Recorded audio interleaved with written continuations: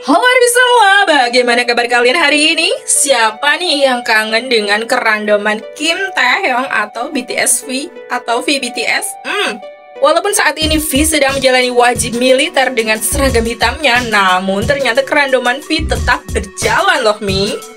BTS menjalani wajib militer mulai 11 Desember 2023 dan di saat ada kesempatan dia tetap memberikan kabar baik kepada ARMY. Seperti kala terakhir dia melaporkan bahwa berat badannya kini menjadi 72,5 kg. Baru-baru ini seorang tentara yang bertugas di camp yang sama dengan V mengungkap bagaimana proses mendapatkan tanda tangan member BTS V tersebut Salah satu momen yang diceritakan bahwa V diduga tak asal memberikan tanda tangannya kepada para prajurit yang memintanya. Hmm.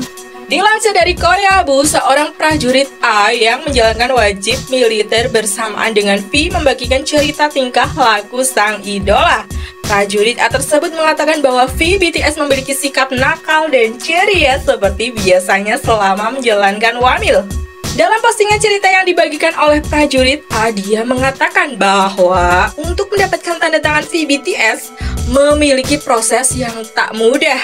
Prajurit A tersebut mengungkapkan jika menuliskan nama di kertas tempel untuk mendapatkan tanda tangan V, pejabat eksekutif mendapatkan 5 dan asisten petugas mendapatkan 2. Prajurit A mengatakan bahwa V BTS tidak akan sembarangan memberikan tanda tangannya meski kepada asisten petugas. Jahil ya. Tetapi proses untuk mendapatkan tanda tangan V, para prajurit maupun asisten petugas harus lulus tes kuis terlebih dahulu. Menurut prajurit A, V memberikan kuis kepada prajurit atau asisten petugas dengan pertanyaan seputar BTS. Dia akan memintaku menjawab beberapa pertanyaan kuis untuk mendapatkan tanda tangan. Contohnya, pertanyaan yang ia ajukan adalah tentang nama anggota BTS atau judul lagunya. Jika mereka salah menjawab, V akan bergandengan tangan dengan tentara lain dan mengusirnya. Oh, begitu ungkapnya. Rupanya VBTS menggunakan metode yang dia lihat di variety show Pidina yang Sok. Menurut si Avi, memanfaatkan proses tersebut untuk bermain dan mempererat hubungan dengan sesama tentara lainnya.